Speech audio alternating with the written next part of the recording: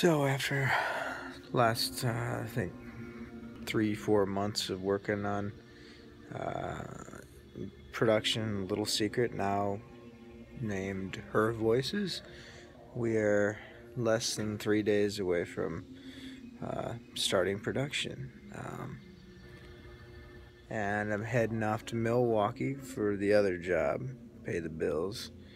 But uh, yeah, pretty much the majority of the heavy lifting's done. Only a few more script updates, another another stab at the schedule and some other things, and then we're we're good to go.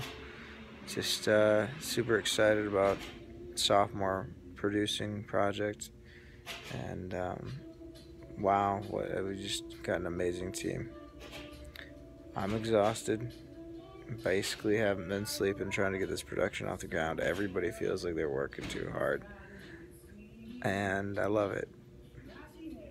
Couldn't imagine any other job where I could wake up every day, work this many hours, and um, still be so excited about it. So, um, yeah, can't wait to share her voices with you.